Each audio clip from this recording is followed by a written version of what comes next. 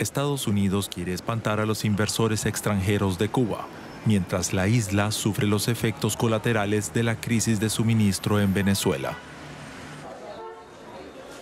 Los estantes de los supermercados están vacíos y hay largas colas para conseguir modestas cantidades de productos básicos, como carne de pollo, huevos o aceite.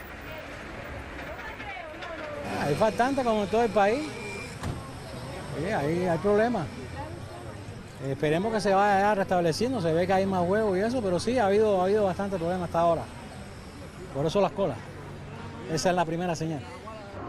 Además, los envíos de petróleo de Venezuela se han reducido a la mitad y podrían seguir bajando o incluso desaparecer en caso de que Juan Guaidó y sus aliados de Washington consigan derribar a Maduro. La gente debería prepararse para lo peor, advirtió hace unos días el líder del Partido Comunista Raúl Castro. Al país le esperan tiempos difíciles, afirmó frente al Parlamento en La Habana.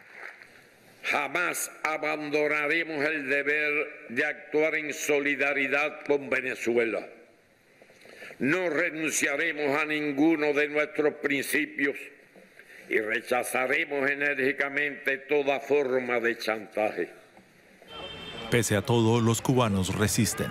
Acostumbrados a las sanciones durante décadas, están convencidos de que también superarán las próximas.